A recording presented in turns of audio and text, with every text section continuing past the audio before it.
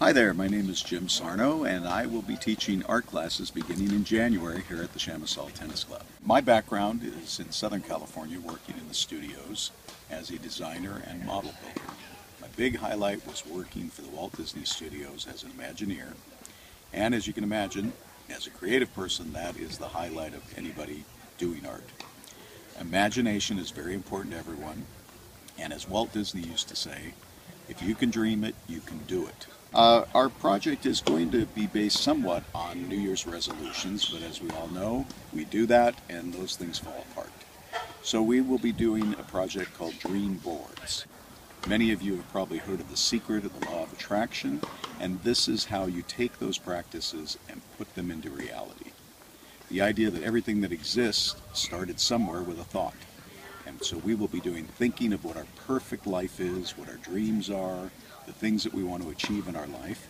And then simply by taking magazines, your favorite magazines, looking through them for images that express what it is you want for your life, we will take them and then turn them into a poster or a board that will have images as well as words that express what your interests are.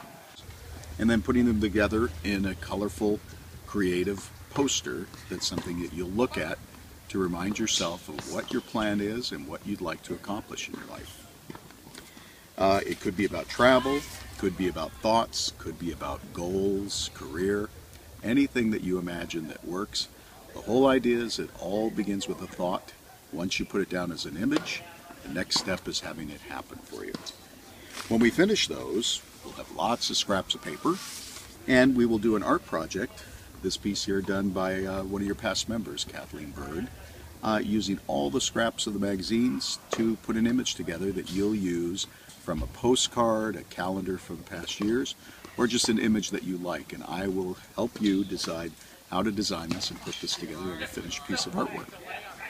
So we hope you'll sign up, and uh, we're looking forward to starting classes on January 8th and uh, ongoing as long as the interest is there. Thank you very much. See you then.